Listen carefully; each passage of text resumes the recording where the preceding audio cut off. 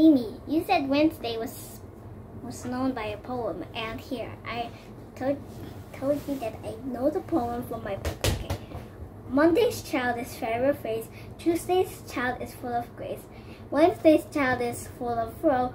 Thursday's child has far to go. Friday's child is loving and giving.